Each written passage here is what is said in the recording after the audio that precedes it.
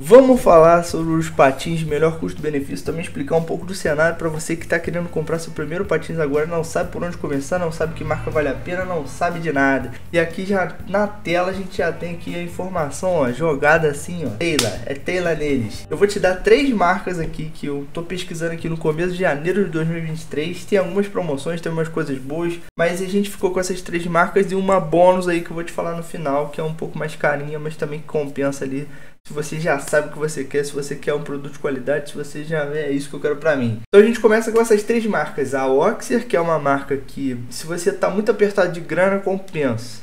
Se você pode investir um pouco mais, a partir de 700 ali, então compensa as outras duas marcas, que é a HD Inline e a Trackchart. Eu gosto mais de Trackchart, mas a HD ela tem surgido aí com novas atualizações, novas coisas que as marcas vão criando novos modelos, né? E aí elas vão suprindo aquela coisa ali que não estava boa, que o pessoal estava reclamando, enfim. Então vamos destrinchar melhor esse assunto aqui. A gente já falou um pouquinho aqui sobre os valores. E a primeira coisa que eu sempre trago em todo vídeo, a pessoa vai lá pesquisa, ah, eu quero comprar um patins. Aí aparece essa desgraça aqui, ó. Aparece várias desgraças dessa daqui e um preço atrativo, né? Que ela bate ali num 800 e fala: Não, não, isso é muito profissional. O patins profissional, gente, patins profissional custa R$ 2.500 para começar. Lá fora é 300 dólares, lá fora o cara limpa a bunda com 300 dólares. Aqui a gente dá a vida, paga um aluguel no mês num patins. É, essa é a realidade. Então, assim, 800 reais não é um patins profissional, é um patins semi-profissional. E isso aqui que a gente tem para baixo é uma tentativa de patins que vai acabar ou te gerando mais prejuízo ou te frustrando. E eu tô aqui para te falar sobre isso. Eu sempre começo esses vídeos. Tem um vídeo passado meu aqui dos melhores patins custo-benefício de 2022 que eu também falo muito sobre essas coisas. Eu não vou destrinchar tanto nesse 2023, mas eu tenho que dar esse aviso. Então, por que não comprar um patins fit? A gente chama de patins fit, né? Tem aqui, ó, masculino fit a bota dele não é uma bota rígida, ela é uma bota de tecido, um pano. E aí, qual é a proposta do Patins Fit, né? Por que, que isso existe? Para ter um preço mais acessível para as pessoas que querem experimentar a patinação. Essa ideia é boa, é, ela é boa, só que ela tem um grande problema. Se você gostar, você tem um elefante branco na mão. Você acabou de gastar 400 reais, ou às vezes até menos, 250, você acha outros preços desse tipo de patins.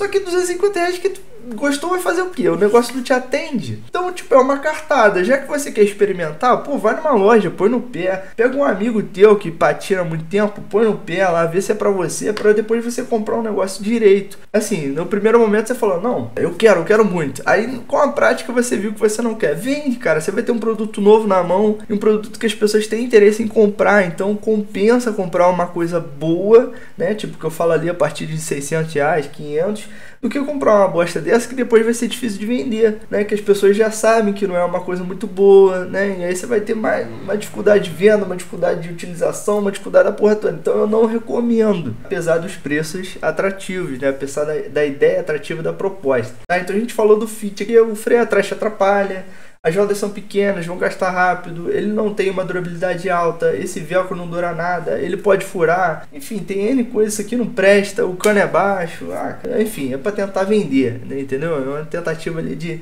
ah, o cara não quer gastar muito, empurra esse negócio nele depois você não tem o que fazer com isso. Então fica esse aviso, eu não recomendo patins fit, qualquer vídeo que você achar na internet, patinadores aí vão falar a mesma coisa, não recomendo. Então vamos começar aqui essa brincadeira, onde a gente vai começar a explorar primeiro que o Oxer, né, que é uma marca de entrada. Esse patins aqui, ele já é bota rígida, tá vendo? Ele não tem ali aquela parte com a bota macia que vai rasgar fácil e tudo mais. E aí o que acontece? Por que, que ele é mais barato? Esse patins eu já acessei ele até 350 reais, já vi gente comprando. No ano passado, que foi o ano mais caro que teve para comprar patins, o dólar teve o aumento mais alto assim da história do dólar foi nesses quatro anos passados. Então a pastelação ficou bastante cara. ainda tá, né? O preço está baixando, é uma notícia boa, mas ainda não, ainda não temos os preços como tínhamos. É, e aí, por que, que eu recomendo começar com esse Oxer? Porque ele atende muito bem todas as coisas que a gente precisa para começar e você consegue acessar ele até 350 reais, 300 Aí, cara, vai de sorte, de promoção, de ter cupom, mas ele já foi vendido por esse preço, então ele você consegue acessar alguma coisa em relação a isso. E aí, por que, que eu recomendo? Porque ele tem bota rígida, porque ele tem uma presilha que, cara, equivale o valor de 350 reais, não é a presilha. Ah, é a mesma presilha do Patins de 800? Claro que não, né? Do Patins de 800 ela é muito melhor, mas é uma presilha decente comparada com o Fit. A roda dele vai durar a mesma coisa que os outros. Essa base é de alumínio, a mesma base dos outros, também dura bastante. Agora, todo o material dele você sente que ele é um pouco mais econômico, né? Justamente porque ele acompanha o seu preço. Se você for pagar 500 nele, eu acho que não vale tanto. Se você conseguir uma promoção, vale. Se você for pagar 500, eu acho que não vale tanto. Por quê? Aí a gente entra em outras questões aqui. Por exemplo, eu achei hoje uma promoção. Esse aqui. Achei uma promoção hoje, hoje exclusivamente nesse aqui, esse Flying Go aqui, é, por 550. Ele acho que já chegou até mil reais. Ele tem um pouquinho mais de qualidade por 50 reais a mais. Não um pouquinho mais, ele tem bastante mais qualidade que o Axer por 50 reais a mais.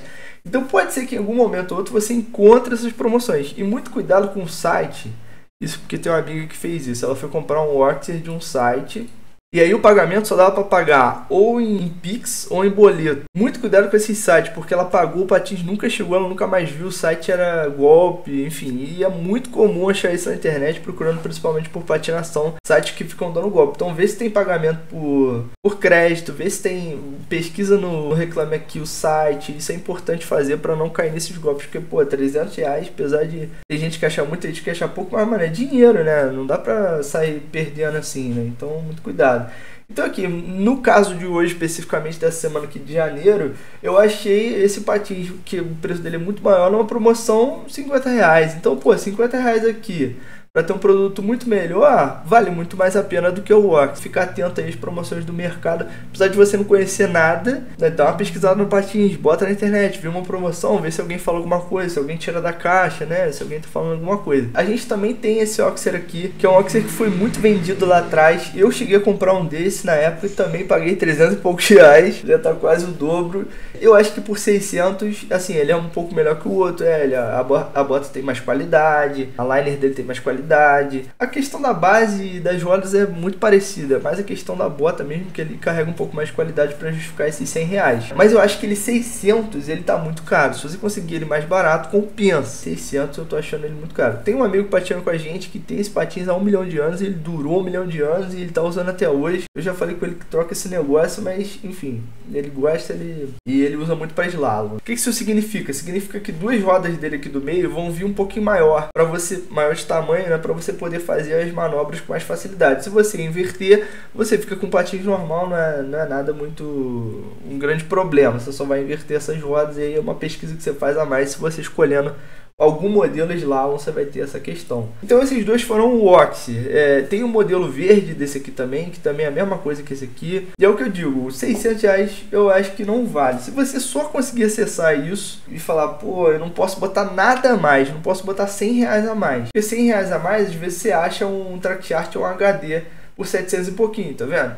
Aqui já tem um track chart de 750. O cara botou 150 reais a mais e tem um patins de muito mais qualidade. É, muito mais qualidade que eu quero dizer, porque a tecnologia track chart é melhor que da Oxy. Mas não é um muito melhor, tipo, com, comparado a um patins de 2.500 reais. Não é. é. É um muito melhor assim, entre as marcas ali. Mas saiba que a gente está falando tudo do mesmo universo, que são patins semi-profissional. Também não, não vai achar que tu vai comprar a Marte e não, tá levando a lua. Então a gente tem sempre uma escala. Ah, cara, achei um patins aqui por 600 600, mas, pô, se não tiver promoção, de repente vale botar um pouquinho a mais. Se você não tem nada, compor nada a mais, você, beleza, leva esse valor, você vai ter um bom produto. Se você não gostar da patinação, você vai vender com facilidade, porque tem gente pô, buscando esses produtos, diferente do, do, do inline lá que eu já falei, do Fit.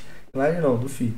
Vamos falar da marca HD e eu quero trazer uma coisa aqui que muita gente fica me perguntando: ah, mas o HD New School Black invertido ele é melhor que o Inline Fast do 3.5? Mano, é tudo a mesma mesma, mas esse daqui, a Liner é um pouco mais confortável. É isso a diferença, sabe? Tipo assim, a, a, bota dele vai ter um pouquinho mais conforto. A presilhazinha vai ter um efeitozinho, uma tecnologiazinha. E é essa a diferença, tipo assim, de uma versão para outra da mesma marca. Você não vai ter um absurdo para justificar 100 reais, para justificar uma porrinha ali. Ah, mas esse aqui, o ABEC, o 11 e o outro é o 9. Mano, os dois são rolamento blindado. Tem um vídeo aqui que eu falo de rolamento, ó, que é blindado, que é emborrachado. Os dois tu pode tacar no lixo, porque o bom é tu pegar um rolamento que seja um rolamento emborrachado, que você vai poder abrir, vai poder limpar, vai poder cuidar. Pô, o que, que eu acho que vale? O preço. Então não, pô, eu quero economizar 40, que o frete é grátis, aqui eu ainda vou pagar frete. Pô, beleza, ele compensa, entende? Então assim, a diferença é muito. E pra você chegar aqui e falar. Uh, entendeu? E a galera fica, ah, pô, e o 5D, mano, é, é HD? É HD. Então é HD. Sabe, tu tá comprando HD, e é isso. Agora, a gente tá falando de HD e trackchart, beleza, é outra história. A gente tá falando de um fila e um HD, pô, é outra história. Tu tá falando de um rollerblade, pô, aí, aí beleza, a gente compensa ali fazer uma comparação que às vezes não tem nem que comparar, tu só fala, Mano, esse aqui é mais caro porque tem uma justificativa muito boa do porque ele é mais caro, né? Tem muito mais tecnologia, tem muito mais coisa. Eu queria falar muito sobre essas diferenças das marcas, e você não precisa ficar fazendo grande malabarismo quanto a isso. Você achar um preço justificável, com frete grátis, com não sei o que, vai no preço. É, aí aqui a gente tem, ah, mas eu quero muito um patins branco. Aí você vai ali no, no, na tua característica. E são bons patins de entrada. Eu falo assim cagado e tudo mais porque eu fico pensando num patins. Um rollerblade, uma marca mundial aí que tá aí desde sei lá o que fazendo patins. E a tecnologia dos caras é absurda. É por isso que eu fico falando desse jeito. Mas eles são bons patins de entrada semi-profissional. Vai te atender por muito tempo, vai durar bastante, vai, vai ter o que você precisa. E aí é uma questão mais de personalização, de preço, sabe? É mais essa jogada de cintura assim, ah, pô, frete é grátis, pô, a cor eu gostei, sabe? Esse tipo de coisa. Isso aí vai ser o relevante da história e não se é infimamente mal. Tá, aí a gente vem aqui, olha só, que eu achei interessante. É um patins que eu ainda não escutei muito falar, eu sei que tem algumas pessoas têm e tudo mais. Pode ser um Seba, pode ser, enfim, tem algumas marcas que começam a partir de mil reais reais. Né? A pessoa vem, ah, esse aqui é bom. Cara, eu não tô vendo muita gente usar ainda. Ainda precisa passar por aquele período do, do pessoal comprar e falar se a peça durou, se não durou, se a presilha tem qualidade, se a liner tá durando. Então tem muito patinho surgindo porque o mercado tá aquecido para isso. É, o pessoal tá, tá, bastante interessado, então a Decathlon tá criando marca, enfim, tá botando coisa boa nas lojas físicas mas nem todas as marcas a gente vai conseguir acompanhar e poder avaliar tão de perto assim. Essa é uma delas. Eu acho que assim, mil reais pelo patins que é pô, muito entre aspas aqui desconhecido, porque eu sei que já tem gente comprando. Eu acho, se você tá cravado mil reais, é, é muito faixa de preço. Entende isso? Comprar patins é a faixa de preço que você tem acessibilidade. Ah, eu, eu posso comprar um de mil reais. Cara, pesquisa vários de mil reais. Sabe? Porque você vai ter muita opção ali. Às vezes um de mil duzentos que pode dar um salto gigantesco na qualidade. Mas não, eu só minha faixa é só mil reais, não posso sair disso. Então beleza, pesquisa ali mil reais e vai na faixa que você pode pagar. Entendeu? Não vai tanto no, ah, no modelo, não, não, vai na faixa, na faixa mais certeira de você conseguir um produto de qualidade. Minha faixa é 700 reais, beleza, vai nessa faixa, você vai achar HD, você vai achar tra Trackchart. Mil reais é uma faixa meio ingrata, porque não tem uma marca, assim, tem o Seba, eu acho, Seba, mas que ela também é um pouco difícil de peça, enfim, tem umas questões. Mas mil reais é uma faixa que você não tá nem lá num fila, mas você também não tá num HD. E aí tem poucas marcas que atendem esse, esse valor ali. Então toma cuidado com isso também o que você estiver pesquisando, pô, bota no YouTube aí a galera abrindo produto, vestindo, falando sobre. É importante fazer esse tipo de pesquisa depois que você achar o modelo ali, os modelos que você quer. Aí a gente fala aqui de Trackchart, né? Vamos falar de Trackchart um pouco. Cara, Trackchart e HD são marcas, qual que é melhor? Cara, elas competem. É tipo, sei lá, Samsung Motorola. Aí tem gente que vai falar, não, mas o Motorola. Não. Cara, elas competem. E o objetivo delas é tipo, vender, né? Então elas fazem produtos ali, vão enxugando, vão tentando fazer o o melhor possível com o orçamento para poder chegar acessível ao público. Então, cara, elas acabam ficando muito igual, assim, sabe? Então, pô, ah não, mas a bota da Trackchart ela é muito mais estilosa. Beleza, eles investiram no estilo, perderam numa outra coisa. Ou então não, a bota é um pouco mais dura, mas a outra bota é um pouco mais macia.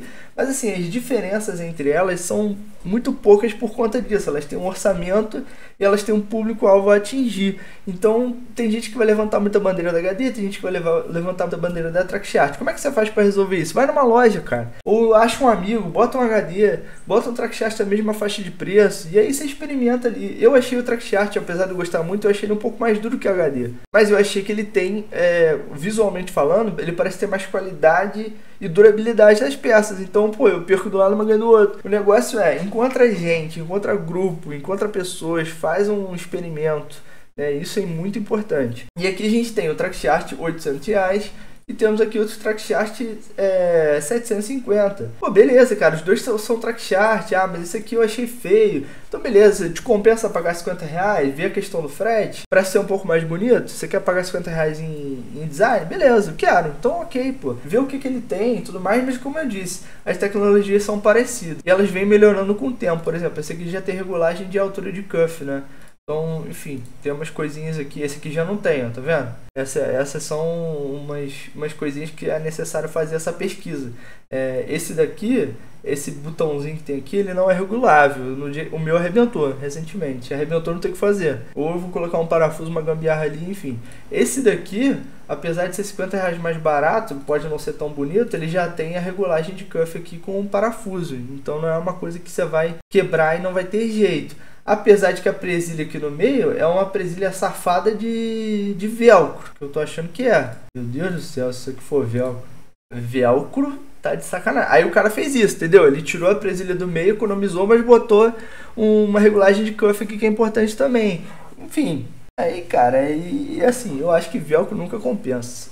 Pode ser que você consiga comprar um kit de, separadamente, né, um kit de presilha e substituir essa, esse negócio aqui por uma presilha direita. Beleza. Mas aí talvez seja 50 reais que você economizou até mais. Então fica ligado nisso. Qual é a melhor coisa aqui, não tô te recomendando um patins específico, tô te recomendando marca. A partir do momento que você escolher o um modelo, cara, vê gente usando, vê gente abrindo, bota aí no YouTube. Eu não tenho vídeo de todos os modelos possíveis, até porque isso aqui muda muito rápido. Mas faz essa, esse trabalho, faz essa pesquisa porque ela é importante. Por exemplo, levar um com velcro, acho que eu não levaria não. Levaria mesmo aqui o, o rapazinho com essa é, questão mais menos personalizado aqui, com essa possibilidade de dar problema aqui do que aquele lá de velcro. Velcro não. Tá, então falamos de track chart, falamos de HD, falamos de Oxy, né? E aí é que eu quero trazer o bônus aqui, que é esse fila. Por que, que eu tô trazendo ele? Eu tenho esse patins, eu uso já há bastante tempo, ele, tá, ele dura muito.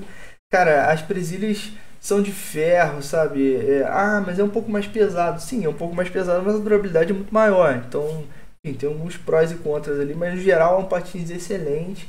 A bota dele é muito justinha, ela ficou bem apertada e ela com o tempo ela foi folgando numa medida boa. É, e ele tava a faixa de R$ 1.500. Eu comprei por R$ 1.500. É, e agora ele tá nessa promoção aí, mas é à vista, né? Pô, é sacanagem também. Se for dividido, ele vai volta ao preço original. Enfim, se você tiver a possibilidade de pagar à vista, ele tá um pouco mais barato. Pode ser que você ache outros sites aí que atendam esse valor um pouco mais barato. Mas eu trouxe pela questão da promoção. E a Amazon também é um site bem confiável para você poder estar tá fazendo essa compra. E aí trouxe uma, uma opção, um cara ali que tá beirando uns mil reais, pô, mas aqui já dá quase 400 a mais, né? Mas ele justifica esse 400 a mais, ele tem bastante qualidade. Falamos dessas três marcas, falamos de uma marca bônus aqui, a Fila. A Fila não tem muitos modelos. E para fechar, a gente vai falar de uma marca pô, que já aproxima ali de uma excelência, sabe? É uma marca que eu gosto bastante. É o, a Power Slide, assim, tem a, tem a Rollerblade, tem uma briga grande, igual a HD e Trackchat, tem uma briga grande entre a Rollerblade e a Power Slide. São duas marcas antigas e muita gente fala, não, mas não tem nada melhor que o Rollerblade. Enfim, aí fica essa coisa aí do, do mercado desse jeito. E aí a Power Slide, ela tem uma coisa meio sacana, eu queria deixar avisado aqui nesse vídeo, que apesar de eu gostar bastante, ela tem essa coisa de ficar fazendo roda de tamanho incomum, vamos dizer assim. Ela faz uma roda de 90, uma roda de 100. Quais são as rodas comuns? 80, 110, 125 também, né, milímetros que a gente está falando aqui. Se você for pesquisar uma roda de 90 milímetros, então eu tô, tô até com dificuldade de achar a roda de 90 milímetros. Estou pesquisando bastante aqui, achei uma essa canária aqui é de 90 milímetros, você vê, já foi difícil de achar. Tá? E quando eu achei, e 600 reais o kit de roda. Cara, se você começar a andar bastante, você vai gastar isso aí em, sei lá, vamos dizer que seis meses. Seis meses é muito. Se você já estiver andando mais, gasta bem mais rápido. Aí daqui a pouco você tem mais um custo de 600 reais em roda. Por quê? Por que, que o custo, por que, que o valor é esse? Ah, porque ela é uma roda de tamanho especial, que é um tamanho que não tem muita saída, que é 90, 100 milímetros. Então cuidado com é, rodas especiais, fixa ali no 80 ou então no 110, sabe? Se eu for pesquisar roda de 110 eu vou achar um monte, de 80 milímetros também vou achar um monte, que são as rodas mais comuns. Então cuidado com esses modelos que tá vendo aí. Tem uma promoçãozinha que esse patins aqui podia estar tá, tá 2.500. Ó, esse aqui já é mais interessante. 80, beleza. O preço já tá um pouco mais atrativo. Ele, ele costuma ser 2.500 reais esse patins. Então busque por rodas padrões, você não vai ter esse problema com as marcas que eu te recomendei antes, HD Oxer e Track Chart, porque elas não fazem, pelo menos por enquanto, é, patins com rodas de tamanhos especiais. É mais para as marcas mais caras, então ficar atento a isso. Essa dica aí para vocês ao final desse vídeo. espero que você tenha gostado. Se você gostou, se eu te ajudei, cara, deixa seu curtir, deixa seu comentário aí, conta um pouco da sua experiência. Manda pra mim, ah, cara, o Fusion 356 da HD e o Burner 3D da HD, qual que é melhor? Manda essa desgraça que eu vou ler e vou responder. Aquele abraço, até mais pra frente aí, se eu puder trazer mais modelos pra vocês. Show, valeu!